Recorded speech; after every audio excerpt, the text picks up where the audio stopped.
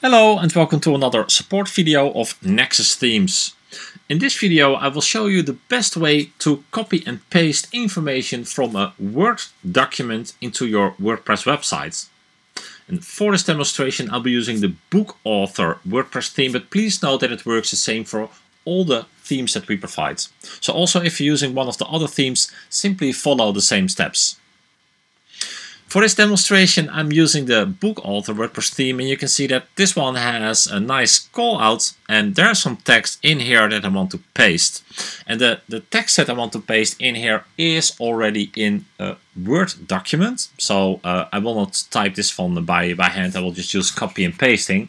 So this is the Word document and the, the, the problem that could occur if you are using a, a copying and pasting from a things like Word documents, but it could also be applicable for other types of more advanced text editors, is that there could be a huge amount of additional style parameters in that document and those specific style elements should not be copied and pasted because they could really uh, result into big issues with the markup in the front end editor or in WordPress in general. So it's good practice to use the following. Simply select all the text that you want to copy and paste. So in this case I will copy and paste the entire paragraph. I will hit Ctrl C or Command C if you're on the Mac.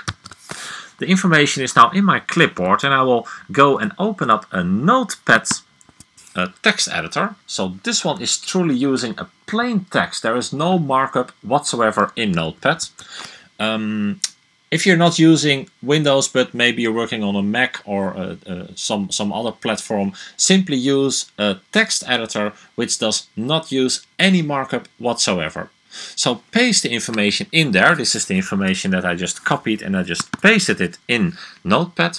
And the second step will be to again select all the text that you just pasted in Notepad, because this one is uh, uh, uh, markup-less. There is no markup whatsoever in this document. And again, hit Control C or Command V, uh, Command C if you're on a Mac, and then paste the information on the place where you want to paste that information. So in this case, I want to fill in the text of the call out. I will open up the properties and I will uh, use the paste in here. I will select this uh, this text. Let's get rid of it. And I will use, uh, in my case, Command V or Control V if you're on a, on a Windows machine. And as you can see right now, we have copied and pasted the information without any markup in this text box. That's the safest way to copy and paste the information. Uh, hit save and you will see that the information has been copied and pasted into the into the system. You can use the same approach here with text editor if you want to change this entire piece of text, then again, copy paste the information from Word into something like Notepad, copy all the text from Notepad, and then paste it in here. This is the safest way and the, the most optimal way to copy and paste information from Word into your WordPress website. Hit save and the information will be updated accordingly.